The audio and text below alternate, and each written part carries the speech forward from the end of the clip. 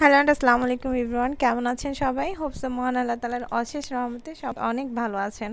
তো আজ আমি আপনাদের সাথে মূলত আমার নাইট টাইম যে রুটিন থাকে ক্লিনিং অথবা যে যে কাজ থাকে সেগুলো আপনাদের সাথে শেয়ার করব।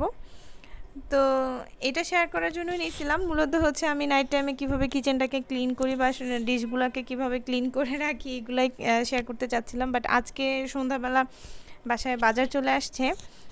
সো ভাবলাম যে অর্গানাইজ করলাম বা আমি ন্যাচারালি সবসময় যেভাবে করি সেটা আপনাদের সাথে একটু শেয়ার করি। অথবা আপনাদের কারও মান্থলি গ্রোসারি যেগুলো থাকে আমার বাসায় দরকারি, সেগুলো হচ্ছে আমি প্রতি মাসের শুরুতেই নিয়ে আসি। কিন্তু দেখা যায় মাঝে মাঝে হচ্ছে যে কিছু জিনিস এক্সট্রা থেকে যায়, এই মাসে আর লাগবে না বা এই মাসের অর্ধেকটা ডেইজ কাভার করা যাবে। তো তখন আমি এগুলা হচ্ছে স্কিপ করে যাই। শুরুতে আর নিয়ে আসা হয় না। যখন প্রয়োজন হয় তখন নিয়ে আসি। তো মসুর ডালটা ওইরকম ছিল না। সরি ছিল অনেক দিন তো দশ বারো দিন প্রায় চলে গেছে। তারপর লাগল তখন নিয়ে আসলাম। প্লাস হচ্ছে কিছু গরম মশলা নিয়ে আসলাম। গোলমরিচ প্লাস দারচিনিটা শেষ হয়ে গেছিল। তো এই দুইটা নিয়ে আসলাম। আসলে আমার গ্রোসারির যে বাজারগুলো, এগুলো আমার খুব পরিচিত একটা দোকান থেকে নিয়ে আসি সব সময় তো দেখা যায় মাঝে মাঝে কিছু জিনিস আসে উল্টাপাল্টা। যেমন আজকে দারচিনিগুলো নিয়ে আসছে, খুবই পুরনো। এই বাকলগুলো খুবই পুরনো মানে একদম কেমন যেন হয়ে আছে, মনে হয় না এটা একদমই খাওয়া যাবে। তা আমি ওটা রেখে দিয়েছি, ওটা চেঞ্জ করতে হবে। এজন্য তো এই জন্যই হচ্ছে সমস্যা হয় না। পরিচিত আসলে দোকান থেকে গ্রোসারি নিয়ে আসলে। তা আমি এরপরে আমার যে কাঁচা বাজারগুলো আছে, এগুলো হচ্ছে আমি অর্গানাইজ করে নিব। তা আজকে আসলে একসাথে অনেক বেশি কাঁচা বাজার নিয়ে আসছে, অনেক ভেজিটেবলস ছিল, অনেক কিছু একসাথে নিয়ে আসছে। আমি ভাবছিলাম ফার্স্টে যে এরকম একটা পলি ব্যাগ শুধু কাঁচা বাজারের জন্য। তা আমি এই পলি ব্যাগ থেকে কাঁচা বাজার বের করে সব কিছু খুব সুন্দর করে আজকে অর্গানাইজ করে ফেলেছি। অর্গানাইজ করে আমি ফ্রিজেও রেখে দিয়েছি। রাখার পরে আমি সব কিছু মানে জাস্ট টাওয়ালটা উঠিয়ে নিয়ে চলে যাব। তখন পিছন ঘুরে তাকিয়ে দেখলাম যে পিছনে আরও একটা পলি ব্যাগ আছে, যেটার মধ্যে আরও অনেক ভেজিটেবলস আছে। তো যাই হোক সাত দিন চলে যাবে ইনশাল্লাহ যা যা নিয়ে আসছে। তো এই জন্য আজকে যেহেতু আমি অনেক দিনের জন্য ভেজিটেবলসগুলো স্টোর করব, তা আমাকে একটু কেয়ারফুলি এগুলোকে স্টোর করতে হবে। কারণ দেখা যায় সবজিগুলো সাত আট দিনের জন্য যখন আমরা স্টোর করি, দুই থেকে তিন দিন পরে সবজিগুলো একটু কোথাও থেকে একটু পচতে শুরু করে বা একটু নরম নরম হয়ে যায়। এই জন্য একটু কেয়ারফুলি থাকতে হয়। তো এখানে হচ্ছে দুই ধরনের বেগুন নিয়ে আসছে, কাঁচা কলা নিয়ে আসছে, দুন্দুল নিয়ে আসছে, আর হচ্ছে লাল শাক ছিল। তো লাল শাকগুলো আমি নর্মালি নিউজ পেপার বা কোনো ধরনের বড় পেপার থাকলে সেগুলোতে জড়িয়ে ফ্রিজে রাখি যখন একদিন আগে কোনো শাক নিয়ে আসা হয়। আর বাট আজকে লাল শাকটা একটু বেশি ছিল পরিমাণে, যার কারণে আমি ওইভাবেই রেখেছি। আমার কাছে মনে হয়েছে কেন যেন কালকে পর্যন্ত বেশ ফ্রেশ থাকবে। তো ইনশাল্লাহ এটা মানে থাকবে ফ্রেশ এবং ছিল, খুব ভালোই ফ্রেশ ছিল পরের দিন যেটা দেখলাম আমি। অ্যান্ড হচ্ছে আমি সব সবজিগুলো আজকে একটু মুছে নিয়েছিলাম কারণ সব সবজিগুলো একটু ভেজা ভেজা ছিল আর সবজিগুলোতে একটু পানি ছিল। এই জন্য সবজিগুলো আমি মুছে তারপরে হচ্ছে আমি রেড কালারের বাস্কেটটাতে রেখে দিয়েছি। আর এখন দেখতে পাচ্ছেন আপনারা দুন্দুল। এটা তো আপনারা সবাই জানেন, খুব তাড়াতাড়ি পচে যাওয়ার একটা সবজি, খুব তাড়াতাড়ি নষ্ট হয়ে যায়। তা আমি যেটা একটা জিনিস খেয়াল করলাম যে, দুন্দুল যদি আপনারা পলিথিনে রাখেন, সেটা অনেক দ্রুত নষ্ট হয়ে যায়। আর আমরা এই ধরনের কাপড়ের ব্যাগগুলো আমরা নর্মালি বাসায় পাই। মাঝে মাঝে, বাজার থেকে নিয়ে আসা হয়, বাজার করে তখন যে এই ব্যাগগুলো আসে, এগুলার ভিতরে আপনি যদি দুন্দলটাকে স্টোর করেন, এটা অনেক দিন ফ্রেশ থাকে। এটা আপনারা চাইলে এভাবে স্টোর করে দেখতে পারেন। অ্যান্ড দেন আমি হচ্ছে এগুলো যে ভেজিটেবলসগুলো ফ্রিজে স্টোর করার জন্য আমি বাস্কেট ইউজ করি নর্মালি আমি এই রাউন্ড একটা বাস্কেট ব্লু কালার প্লাস হচ্ছে রেড কালারের লম্বা বাস্কেটটা ইউজ করি। এই দুই ধরনের বাস্কেট আমি ইউজ করি। তো আমার কিছু টমেটো ছিল ফ্রিজে এটাও প্রায় অনেক দিন হয়ে গেছে, তো এই টমেটোগুলো একটু পানি পানি ভেজা ভেজা লাগতেছিল। একটু জাস্ট মুছে দিলাম, যাতে ভেজা ভেজা ভাবটা চলে যায়। আসলে যে কোনো সবজি যখন ভেজা থাকবে, তখনই এটা আসলে পচে যাওয়ার বা নষ্ট হয়ে যাওয়ার চান্সেসটা বেশি থাকে। যার কারণে একটু একটু যদি ড্রাই রাখে না, তাহলে সবজিগুলো ভালো থাকে। তো এখানে আমি, আমার কিছু ফ্রিজে লেবু ছিল অনেক দিন আগের। আমি অনেক আগে নিয়ে আসছিলাম। এগুলো গাছের লেবু, বাড়ি থেকে নিয়ে আসছিলাম। সো খাওয়া হচ্ছে। অনেক বেশি নিয়ে আসছি তো তো কিছু রয়ে গেছে। তো হলুদ হলুদ হয়ে গেছে। তো ওগুলো একটু মুছে নিলাম। মুছে আমি বাস্কেটে রেখে দিচ্ছি। আর আজকে মূলত হচ্ছে যে ভেজিটেবলসগুলো যদি আপনি ফ্রিজে স্টোর করেন, অবশ্যই সেটা আপনাকে দুই, তিন দিন পর পর একটু একটু চেক করতে হবে। সেভেন টু এইট ডেজের জন্য যখন আপনি একটা ভিজিট নিয়ে আসবেন, তখন সেটাকে দুই দিন বা, দুই দিন পরে বা একদিন পর পর সব থেকে ভালো হয় যদি আপনি চেক করেন। কারণ কোনোটা যদি পানি জমে যায়, একটু মুছে দিলেন। তো আমি সব কিছু ফ্রিজে রেখে, আমি জাস্ট সব কিছু গুছিয়ে নিয়েছি যে আমি আমার অন্য কাজে চলে যাব। বাট আমি বললাম যে আর একটা যে পলিব্যাগ রয়ে গেছে, আমি সেটা দেখে নাই। তো এখন ওই পলিব্যাগটা আমি খুলে নিচ্ছি। ওটার মধ্যে কি কি আছে? এটার মধ্যে ছিল হচ্ছে কাঁচা মরিচ আর তিনটা বড় বড় সাইজের পেঁপে ছিল।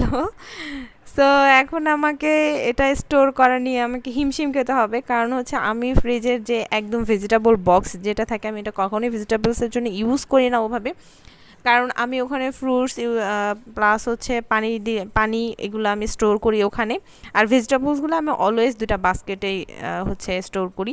আর যদি কখনো কোনো কাটা সবজি থাকে এক্সট্রা মানে অর্ধেকটা আজকে রান্না করলাম, বাকি অর্ধেকটা কালকে রান্না করব, তখন ওইটা একটা পলি ব্যাগে আমি জড়িয়ে ওইটা আমি বক্সে স্টোর করি, কারণ যাতে স্মেলটা ফ্রিজে না ছড়ায়। তো আমি সব কিছু একটু মানে কষ্ট হচ্ছে অর্গানাইজ করতে, তারপরও মোটামুটি দুইটা বাস্কেটের মধ্যে অর্গানাইজ করে নিয়েছি।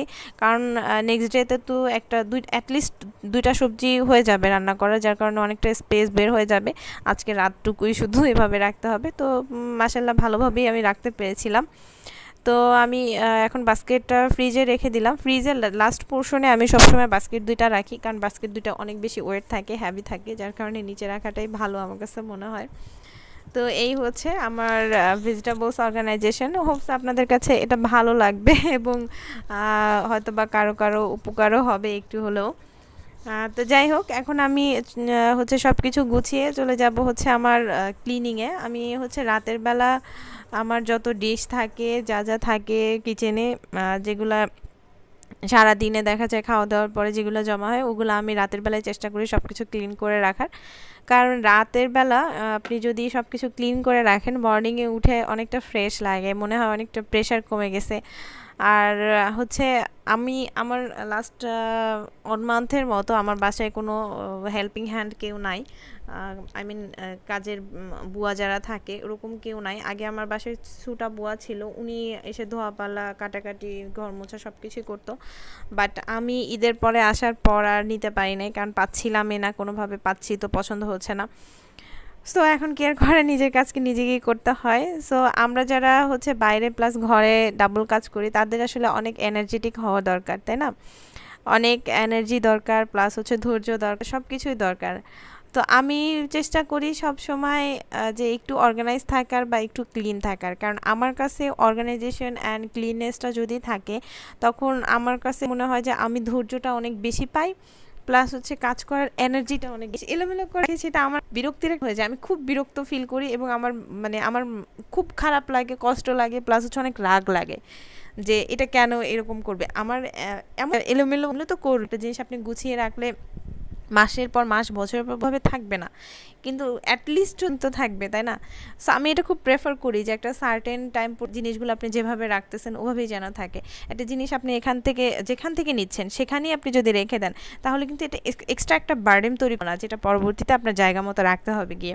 সো আমার কাছে এটা ভালো লাগে আসলে অর্গানাইজ করে থাকা। আমার কি আছে, না আছে, কতটুকু আছে, না আছে, সেটা কোনো ম্যাটার করে না। হয়তো বা আমার অনেক জিনিস আছে যেগুলো আসলে গুছিয়ে রাখা পসিবল না বা আমার কিছুই নাই যে আমি গুছিয়ে রাখব। যাই থাকুক, না থাকুক না কেন, সেটাকে আপনাকে যদি একটু সুন্দর করে গুছিয়ে রাখেন, দেখবেন কাজ করাটা আসলে কতটা এনার্জেটিক কতটা ভালো লাগার, কতটা শান্তির। কাজে আসলেই কাজকে ভালোবাসতে হবে, ধৈর্য ধরতে হবে। আর আপনি যেটা ভালো লাগে আপনার যেটা ভালো লাগে বা আপনি যেটা পছন্দ করেন, সবসময় চেষ্টা করবেন সেটা করার, সেইভাবে, সেই ওয়েতে করার। তা আমি এই জন্য চেষ্টা করি, আমার একটু কষ্ট হলেও আমি রাতের বেলা চেষ্টা করি আমার ডিশগুলো সব ক্লিন করে রাখার, আমার কিচেন কাউন্টারটা ক্লিন করে রাখার, আমার যে চুলাটা সেটা ক্লিন ক্লিন করে রাখার। তো সবসময় যে হয় তা না, মাঝে মাঝে দেখা যায় রুটিনটা একটু এলোমেলো হয়ে যায়। তারপর ম্যাক্সিমাম টাইম আমি ট্রাই ট্রাই করি এটা করার জন্য। সো আমি সব ডিশগুলো মানে ক্লিন করে নিচ্ছি। অনেক কথা বলে ফেললাম এর মধ্যে। তো যাই হোক আসলে অর্গানাইজেশনটা আর ক্লিনিংয়ের ব্যাপারটা যার যার নিজের মতো। তারপরে হচ্ছে, ওই যে আগেই বললাম একটা ব্যাপার যে, যার যেভাবে যে কাজটা করতে ভালো লাগে, তার সেভাবেই করা উচিত। বাট একটু যদি আপনি গোছানো থাকেন, একটু গোছানোভাবে করেন, তাহলে সেটা দেখবেন আপনার কাজকে কতটা সুন্দর এবং কতটা ইজি করে দিচ্ছে। হ্যাঁ তো এটাই আসলে ব্যাপারটা। নর্মালি আমরা যে ডিশ ওয়াশ করে একটা ঝুড়ির মধ্যে রাখতেছি, এটা কিন্তু একটা অর্গানাইজড ওয়ে তাই না? আপনি যদি এখন ওইটা ঝুড়িটা না থাকতো, একটার উপর একটা, একটার উপর একটা রাখতেন, তখন দেখা যেত একটা সময় ধপ করে সব নিচে পড়ে গেছে বা একটা পড়ে যাচ্ছে। এখন কিন্তু এটা হচ্ছে না। সো এই অর্গানাইজেশনটা আমার ভালো লাগে। এরকমই ছোট ছোট জিনিসগুলো আপনার, আমার কাছে ভালো লাগে। আমি এভাবে ডিশগুলো রেখে দিলে পানিটা ঝরে যায়, সবগুলো এয়ার ড্রাই হয়ে যায় জিনিসগুলো, আমি মর্নিংয়ে খুব সুন্দর করে গুছিয়ে রাখতে পারি। সো এই জন্যই আমি চেষ্টা করি একটু অর্গানাইজ ওয়েতে চলার। আমার কাছে ভালো লাগে এই জন্যই আসলে। তো এখন আমি আমার চুলাটা পরিষ্কার করে নিব। আসলে আমার চুলাটা আমার খুব পছন্দের একটা চুলা। আমি চুলাটা নিয়েছি খুব বেশি দিন হয়নি। আমার চুলাটা স্টেনলেস স্টিলের আমি মূলত গ্লাসের যে চুলাগুলো, ওগুলো খুব পছন্দ করতাম। বাট আমি হচ্ছে আমার ওইটা যে বললাম যে, দেখা যায় যে আমার পানি ফুটিয়ে খেতে হয়। তো, বা গ্লাসের চুলাতে ওরা যেটা আমাকে বলছিল যে গরম অবস্থাতে চুলাতে পানি লাগানো যাবে না। তো মাঝে মাঝে পানি ফুটিয়ে বা ভাতের মাঠও পড়তেছে, তাতে গ্লাসের যে টেম্পারটা ওটা অনেকটা পরিমাণ অ্যাফেক্টেড হয় বা কমে যায়।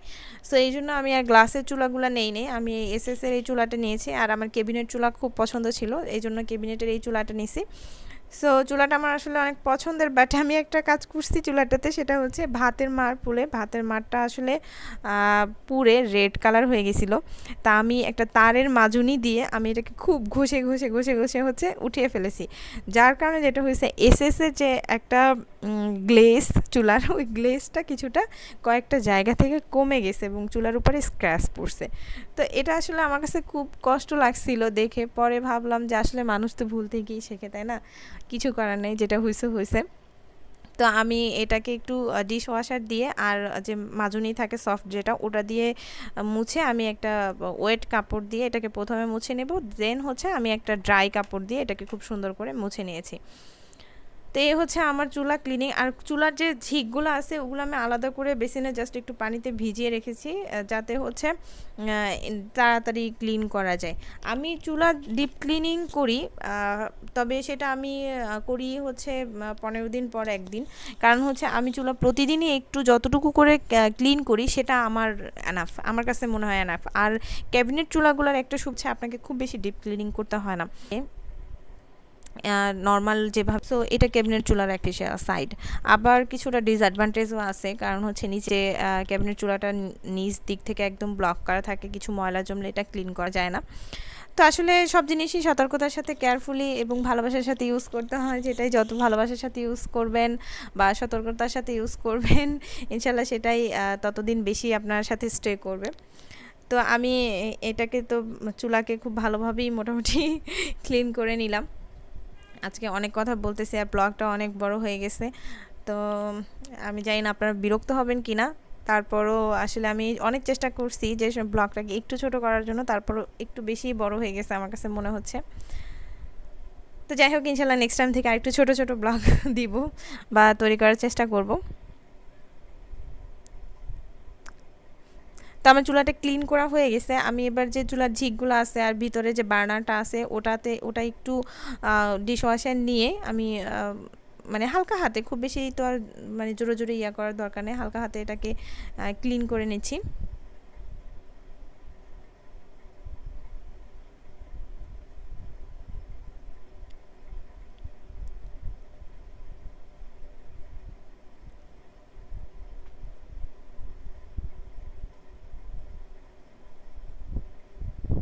রাতের বেলা যদি আপনি এগুলো ক্লিন করে রাখেন, তাহলে যেটা হয় যে মর্নিংয়ে এটা একদম সুন্দর ড্রাই হয়ে থাকে। মর্নিংয়ে কাজ করতে আর সমস্যা হয় না।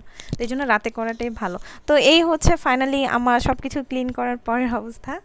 তো আমার আসলে অনেক ভালো লাগছে দেখে যে সব কিছু অনেক সুন্দরভাবে ক্লিন একটু গোছানো আছে। তো আজকের ব্লগটা এই পর্যন্তই। হোপস আপনাদের ভালো লাগবে। তো আল্লাহ হাফেজ।